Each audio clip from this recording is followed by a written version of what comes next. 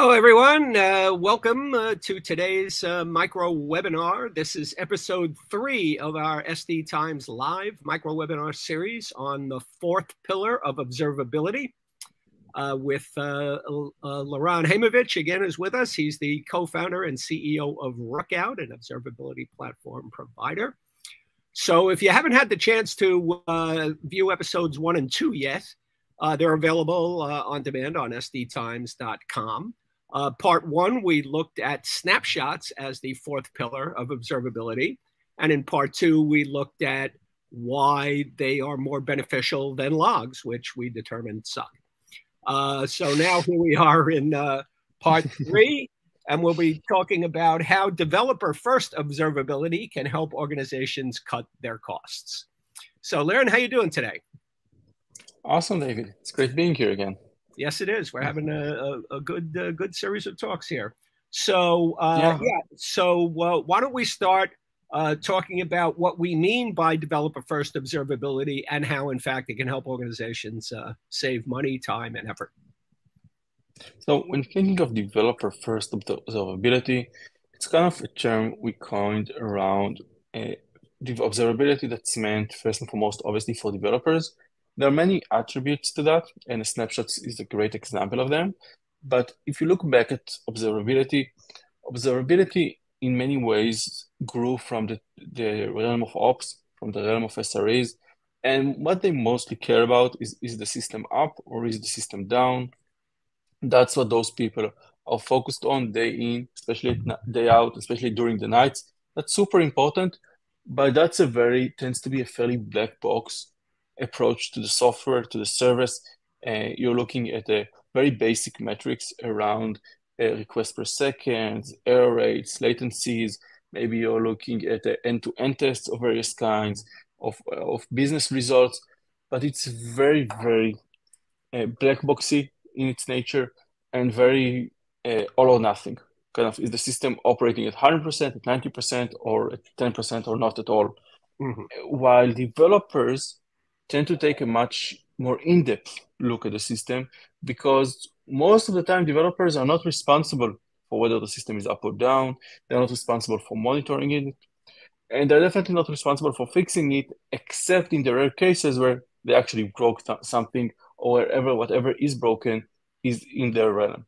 Mm-hmm. Most of the time, developers are using observability data such as logs that we've discussed brief, uh, extensively in the previous call to better understand the code, to design new features, to redesign old features, to refactor code, to deprecate code, to optimize code, and so on and so forth.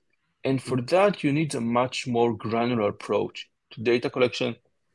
You need to look way, way deeper into the nitty gritty details.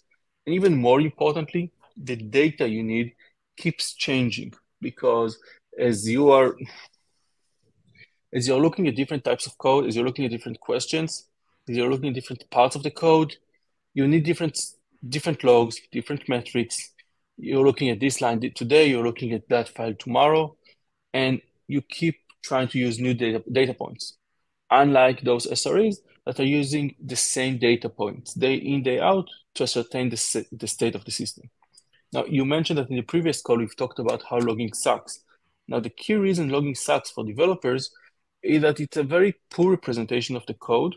It doesn't it doesn't provide a good. It can be difficult to connect the log itself with the code, and it's even more difficult to ascertain the state of the code based on the contents of the log line, which tends to to include no more than two or three variables at best.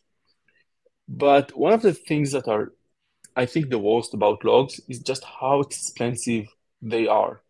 And I have to say, from my experience, it's like the number one complaint from every customer I've been with is how expensive observability is.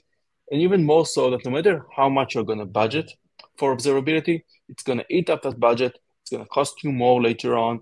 And by the end of the year, you're probably going to be over. And the next year, it's going to be even more expensive. Mm-hmm. We're seeing customers reporting that not only are they failing to meet their budget goals, but it's also, they're also growing 20% or more mm. every single year. Right. Well, and it's the main reason for uh, I, am sorry, I didn't mean to cut you off. I, I just wanted no, to. No. I just wanted to uh, explore something here. Uh, observability kind of grew out of what we used to call application performance monitoring, mm-hmm. and mm-hmm. and none of that really had anything to do with the code. As as odd as it is to call it application performance monitoring, it had nothing to do with the application. It had to do with how you know was it up, was it available, service was working, was yeah. there much latency. So so none of that really was created at all with developers in mind. So this is an interesting angle that you're talking about, where giving developers the opportunity to collect the data that they need to be more efficient in their jobs, to write better applications, to see what's working and what isn't working, to make those fixes so that things run better, is is really almost a different set of things you're looking for than you did traditionally in application performance monitoring. Exactly. Yeah. And when you use traditional observability monitoring or traditional logging, you're collecting tons and tons of stuff that you will probably never use. We're hearing it from customers that 90 to 95% of the logs are never accessed at all. Right. And you're collecting that out of FOMO because engineers know that when they're going to need that data, it's not going to be available. So they fear missing out on it. So they keep collecting it all the time. Mm-hmm. And not to mention that, as we've discussed uh, extensively in the previous call, logging sucks. And even if they do get the data, it might not help them. But because of that uncertainty, whether going, the data is going to be available, they're collecting tons and tons of logs.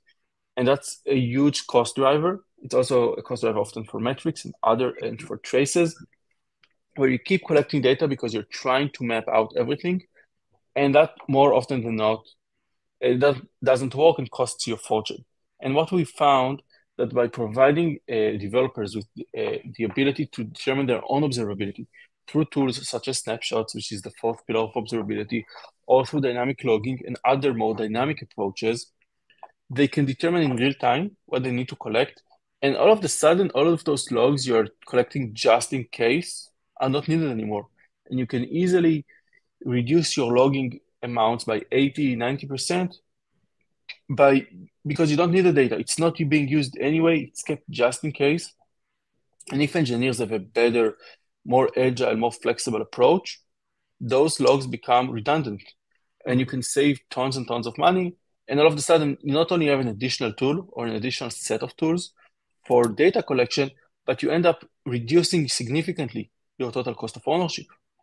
Mm-hmm does this does this follow along with everything else uh, that we talk about in the industry these days? Is uh, shifting left, right? So now that we want uh, testing to happen earlier on, we want security to happen earlier on.